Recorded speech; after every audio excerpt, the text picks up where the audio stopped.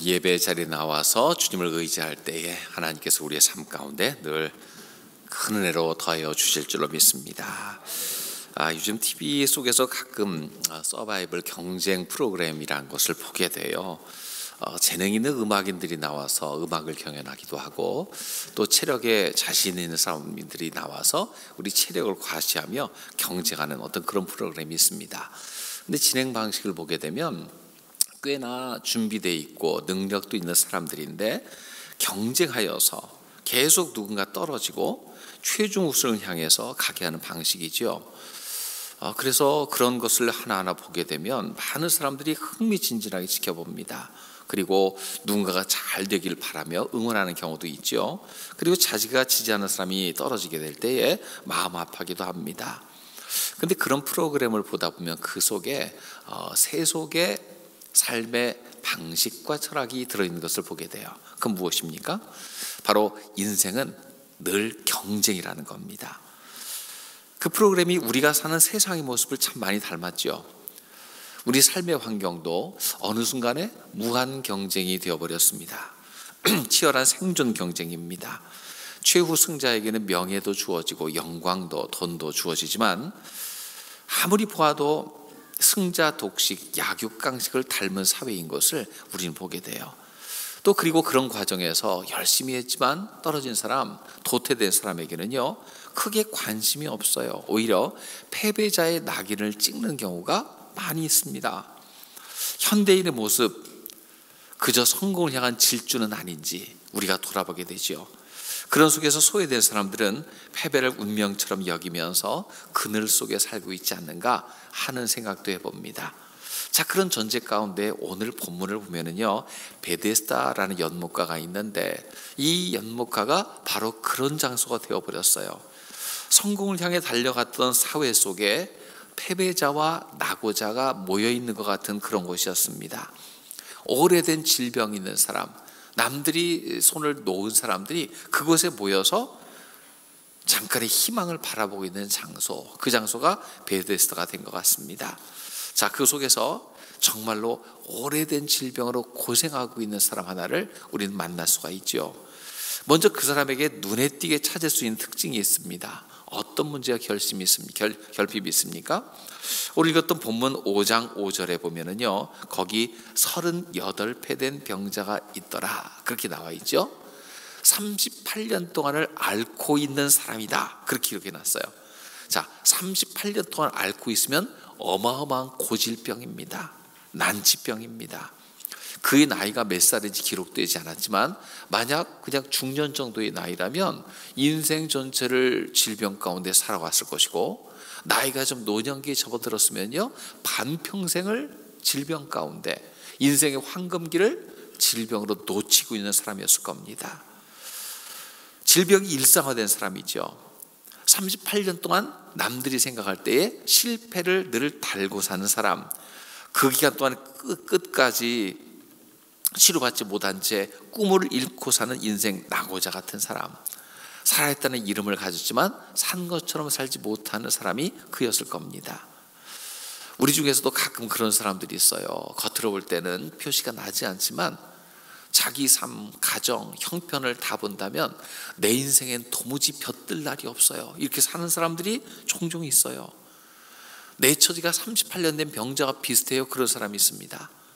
늘 빚 때문에 시달리는 사람, 뭔가 될 만하면 하나씩 어그러져서 그것이 거듭되어 가지고요. 그것을 복구하기 위해서 수십 년을 보낸 사람, 아 그런 사람들이 내 처지도 그와 다르지 않습니다. 이야기하고 있을지 몰라요. 그냥 겨우 버티며 사는 거지 그나 나나 비슷해요. 그런 사람이 있을지 모르겠어요. 그런데 그 환자는 베데스다 연못가에 있었거든요. 왜 그랬습니까? 요한복음 5장 3, 4절에 보면 그곳에 관한 전설이 하나 있었습니다. 같이 한번 읽어보겠습니다. 그 안에 많은 병자, 맹인, 다리 저는 사람, 혈기 많은 사람들이 누워 물의 움직임을 기다리니 이는 천사가 가끔 못에 내려와 물을 움직이게 하는데 움직인 후에 먼저 들어가는 자는 어떤 병에 걸렸든지 낫게 되밀어라. 어, 그곳에 기적적인 치유가 있다는 전설이 내려왔습니다. 그래서 수많은 병자가 보였습니다. 맹인도 있습니다. 다리 저는 사람도 있습니다. 혈기 받는 사람들이 있습니다. 물이 움직일 그 순간을 기다립니다. 물이 움직이면 그 움직이는 것이 천사가 움직인다고 생각을 했고 그때 제일 먼저 들어가는 사람이 낫게 된다는 어떤 그런 이야기가 전해지고 있었어요. 고질병을 걸린 사회적 약자들이 모여서 물의 움직이를 기다리는 곳이에요. 마치 주중에 로또를 쓴 사람이 토요일 그 순간만 기다리는 것처럼 그리고 실망하는 것처럼 희망과 실망이 교차되는 곳입니다. 그러면 그곳에 진짜 기적은 일어났는가? 이런 질문을 할 수가 있죠. 정말 하나님의 천사가 나타났을까? 과연 진짜 기적이 거기 일어나긴 한 걸까? 생각컨대 뭔가 좀 이상하잖아요. 제일 먼저 들어가는 사람만 낫는다. 그러면 그 방식이 하나님의 성품과 하나님이 일하시는 것과 일치합니까? 천사가 가끔 방문하는데 1등으로 들어간 사람만 치료받는다. 라면 그것은 하나님의 성품과 어느 정도 유사합니까? 하나님이 1등하는 사람에게만 치유와 회복을 약속하시는 분입니까? 아니 하나님은 안 그럴지라도 천사들 중에서 좀 장난기가 있는 사람이 있어서 가끔 그런 일을 행하고 온다면 그거는 맞는 걸까요? 이 장소를 곰곰 생각해 보면은요 패배자라고 낙인 찍힌 사람들 중에서도 가끔 1등만 구원받는다는 또 다른 어두운 신화가 자리 잡은 것. 즉, 거짓이 주인 노릇하는 것과 같은 그런 곳인 것 같습니다. 피라미드 사기, 다단계 사기를 보면 어떻습니까? 신화를 얘기해요. 여기서 어마어마하게 돈을 벌어서 뭐 다이아몬드 이상의 뭐 급이 된 사람이 있다더라 하면서 그 사람은 재벌이 됐다 뭐 그런 얘기를 신화를 만들어내면서 당신도 아는 사람들을 가입시켜라 또 가입시켜라 또 가입시켜라 줄줄줄줄 해갖고 당신이 재벌이 된다라고 얘기를 하고 있는데 그것을 바라는 사람만 가득하지 진짜 그렇게 된 사람은 정말로 찾기 힘듭니다. 있다는 신화는 들었어요. 물론 그것을 처음 설계한 사람은 돈을 법니다. 나머지는 그 사기 노름에 걸린 사람인 경우가 대다수죠. 수많은 사람들이 헛된 꿈을 꾸게 만듭니다. 논리상 보면 그 사람이 있는 것 같습니다. 하지만 찾을 수 없어요. 자본주의 욕망만 남은 것이죠. 그런데도 요즘 보면 이런 데에 걸려 넘어지는 사람이 적잖이 많이 있어요. 언젠가는 되겠지. 나에게도 기회가 찾아오겠지. 미련 때문에 그곳을 못 떠나고 다른 갈 곳도 없어 부유하는 신세에 있는 사람이 굉장히 많습니다. 이 38년 된 병자도요, 병이 나으리라는 희망보다도요, 그곳에 있어야 동일한 처지에 있는 사람들끼리 그냥 의지하며 살지 그런 마음이 아니었을까 싶어요. 예수님이 그녀의 그 그에게 물었을 때에 그가 뭐라고 대답합니까? 5장 7절에 보니 보니까요. 그의 대답이 그래요. 물이 움직일 때 나를 못에 넣어 준 사람이 없어. 내가 가는 동안에 다른 사람이 먼저 내려가나이다. 예수님께서 그의 소망을 물었는데도 그가 대답하는 건 핑계입니다. 그 핑계는 뭐예요? 내가 1등이 못 되니까 여기서도 늘 패배하고 삽니다. 그런 거예요. 그러면 그가 1등할 가능성은 얼마나 될까요? 아니 그 주위 있는 사람들 중에서 1등 할 사람은 얼마나 있을까요? 매우 희박합니다. 왜냐하면 그곳에 모인 사람이요 병자, 맹인, 다리 저는 사람, 혈기 많은 사람, 움직이기 힘든 사람들만 모여 있어요. 그들은 그것을 떠나지 못합니다. 왜냐하면 다른 대안이 보이지 않으니까. 그 중에서 정말 어쩌다 물이 동하여서 내려가서 나았다는 사람이 있었다고 합시다. 그럼 무엇을 생각하게 됩니까? 여러분 그런 생각 해보셨어요? 물이 동할 때 제일 먼저 내려가는 사람은 몸에 병이 별로 없는 사람일 겁니다. 그런 사람이 있다가 보면은요 병든 사람을 다 해치고 나서 들어가 가지고 아유 나 발톱에 무 좀 나왔어 그랬을 거예요. 왜냐하면 몸이 성해야 뛰어들 수 있는데 다 들 혈기 마르고 뭐 병들고 이런 사람인데 누가 거기를 갑니까? 그러니까 거기 들어간 사람은 대개 거의 병이 나은 사람 이런 사람이었을 거예요. 들어가서 낫다고 이야기할 때에 그 시대에 신화가 만들어지는 겁니다. 그럼에도 그 이야기들에 사로잡힌 사람들이 거기를 떠나지 못하고 있는 거예요. 아, 이거 보면 우리의 모습과 많이 닮고, 닮아 있지 않습니까? 여러 가지 문제를 떠안고 있지만 다들 그렇게 사는 거지 뭐 그러면서 제자리 걸음하고 엉거주춤한 모습 겨우겨우 버티는 모습 희망 없이 반복되는 문제들 가운데 그냥 나 자신을 방치해둔 모습 여기 있는 사람이 육신의 질병을 안고 있다면 우리는 마음의 질병과 패배의식을 안고 있으면서 꿈 없이 살아가는 모습이 나의 모습 아닙니까? 이 베데스다는 그냥 병자들이 모여있는 장소가 아니라 이 시대를 사는 우리의 모습, 그 모습과도 매우 닮아 있어요. 우리는 생각해야 됩니다. 우리는 모두가 어딘가에 결핍된, 결핍된 존재예요. 장애가 있고 치료가 필요하고 누군가의 도움이 필요한 존재입니다. 나는 괜찮다 말하는 것이 아니라 나의 문제를 시인하고 주님 앞에 나올 수 있는 우리 모두가 되시길 주의 이름으로 축원합니다. 근데 그 장소에 치료하시는 주님이 나타났어요. 치료가 일어난다고 하지만 좀처럼 일어나지 않는 우연만 가득한 그곳에 치료의 주님이 나오셨어요. 우리는 그 38년 된 병자에게 예수님이 다가갔을 모습을 우리는 봅니다. 예수님께서 질문하셨어요. 5장 6절에 보니까 같이 한번 읽어보겠습니다. 예수께서 그 누운 것을 보시고 병이 벌써 오래된 줄 아시고 이르시되 내가 낫고자 하느냐 내가 낫고자 하느냐 그냥 가셔서 예수님에게 충만하신 능력으로 고쳐주실 수도 있었을 텐데 내가 낫고자 하느냐 물어보셨어요. 왜냐하면 병이 오래된 줄 아셨기 때문입니다. 여러분 육신의 병이 오래되면은요 그 마음의 병도 저절로 따라와요. 패배의식도 따라와요. 그것을 이길 만한 힘이 없습니다. 예수님은 그것을 다 보셨습니다. 예수님 육신의 치료에만 관심을 가신 것이 아니라 그거에게만 관심을 가셨다면 고쳐주는 걸로 끝나셨겠죠 하지만 예수님은요 그 마음도 만져주시기 원하시는 겁니다 찾아가서 질문하고 대답을 듣고 그의 믿음을 일으키고 다시 한번 그를 새롭게 되도록 역사하시는 거죠. 그 병자의 대답은 어땠어요? 아, 예수님 질문은 어렵지 않잖아요. 낫기 원하느냐? 그러면 예 혹은 아니요 포기했어요. 이 둘 중에 하나여야 되는데 그 병자의 대답은 제대로 자기의 마음을 표현하지 못한 채 기어 들어가고 있어요.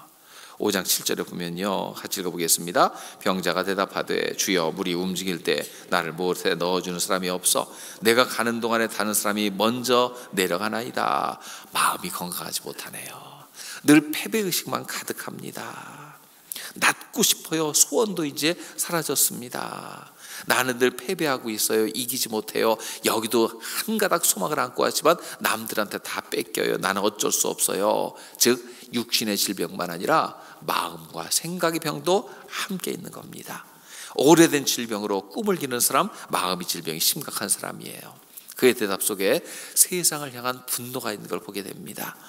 옛날에 어떤 개그맨의 유행어가 있죠. 1등만 생각하는 더러운 세상 뭐 그랬었는데 아, 그런 실패한 병자로서 기적을 찾아 여기까지 왔지만 거기서도 1등이 될 수 없고 오래된 병 가운데서 시름시름 앓고 있었어요. 어찌 보면 우리 사회가 이와 비슷합니다. 우리 사회에도 열심히 노력해서 될 수 없다라는 생각, 그런 패배의식이 가득 있습니다. 그래서 분노 지수가 굉장히 높아진 세상입니다.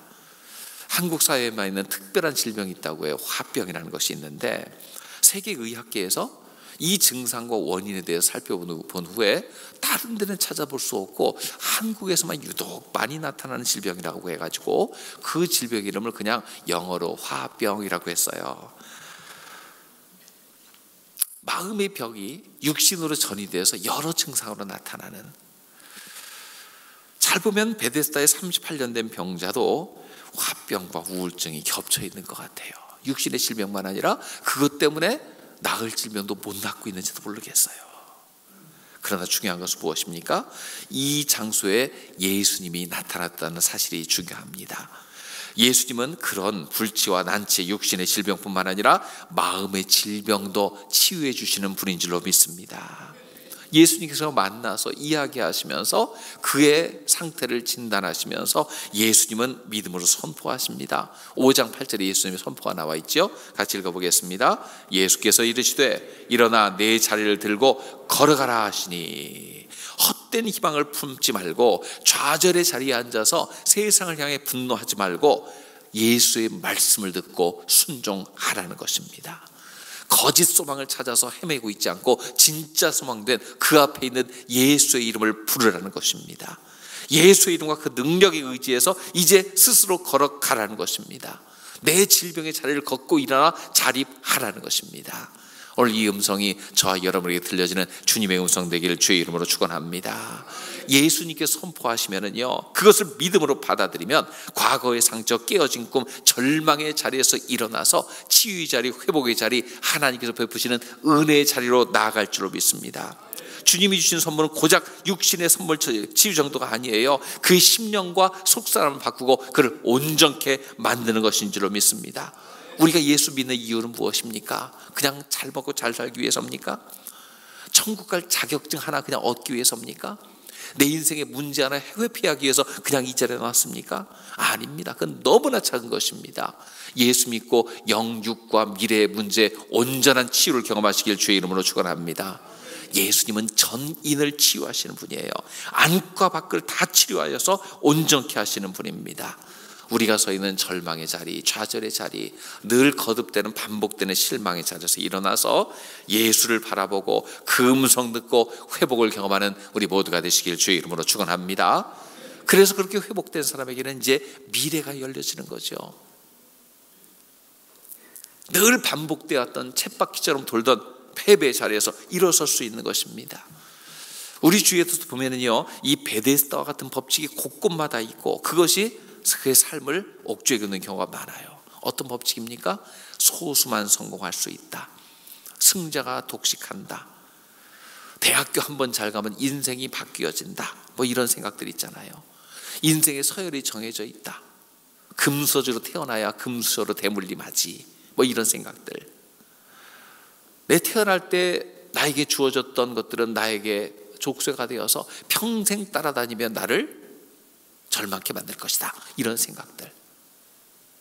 일종의 요즘 사회에 있는 베데사의 법칙입니다. 부모를 잘 만나야지. 뭐 이런 것들. 실패자는 재기가 불가능하다. 뭐 그런 마음들.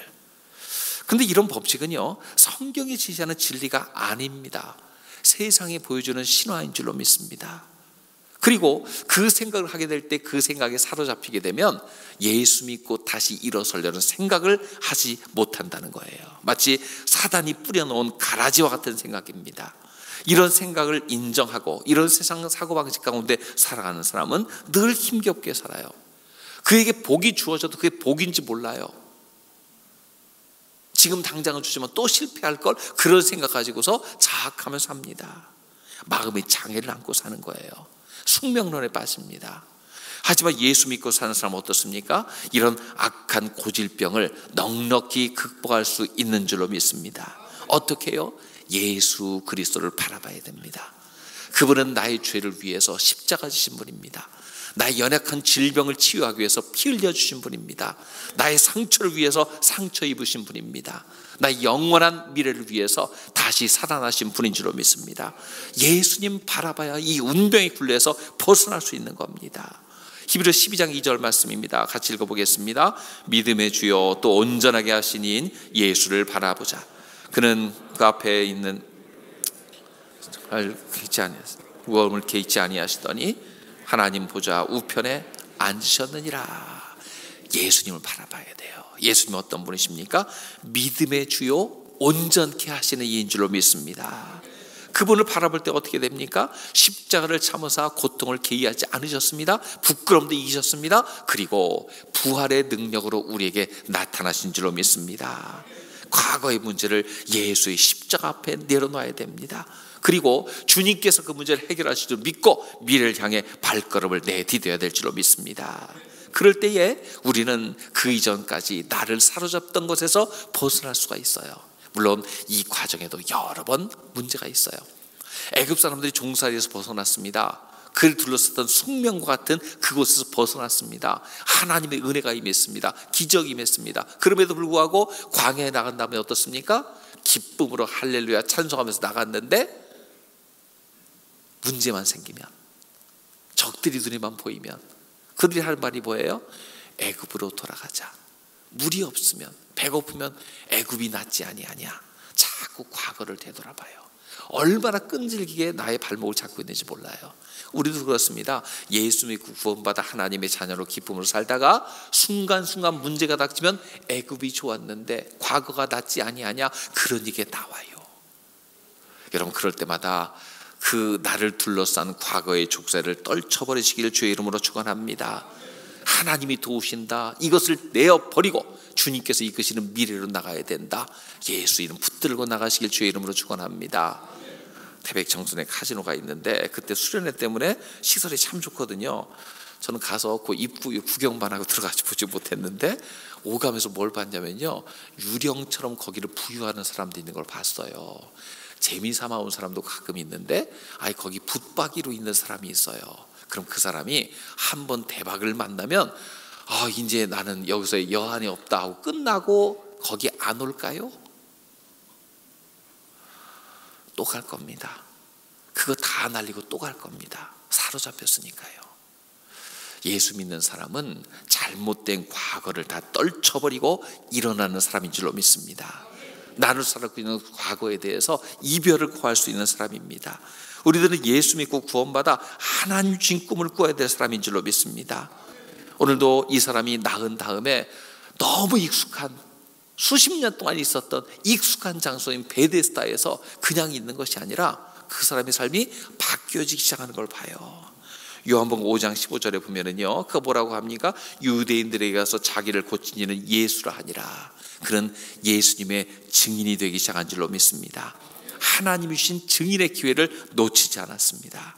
이제 하나님 주신 꿈을 꾸며 사는 사람으로 그는 변화된 줄로 믿습니다. 자신이 만들고 그 꿈을 이루는 사람은 세상 그저 성공했다고 이야기합니다. 하지만 하나님이 주신 꿈을 꾸고 그 꿈을 이루며 사는 사람은 그를 복을 받았다고 이야기합니다. 우리는 성공하기 위해 사는 것이 아니라 복 받기 위해 사는 겁니다. 이 복은 세상이 생각하는 성공과는 다른 겁니다. 예수님이 내 안에 계신 것이 최고의 복인 줄로 믿습니다. 내 삶이 아골골짝 같아도 주님이 함께 하시면 복된 겁니다.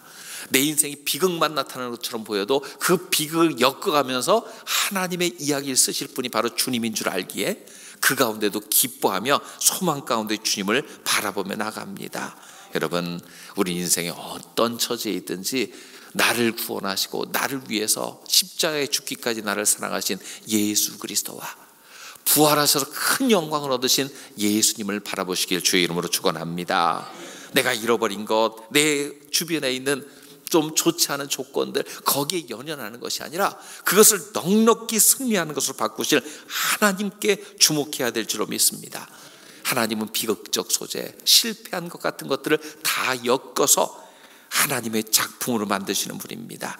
그분의 꿈을 꾸며 그분의 뒤를 따라가며 그 음성 들어서 베데스다와 같은 세상에서 예수의 이름으로 주님 쫓으며 살아가는 우리 모두가 되시기를 주의 이름으로 축원합니다. 기도하겠습니다.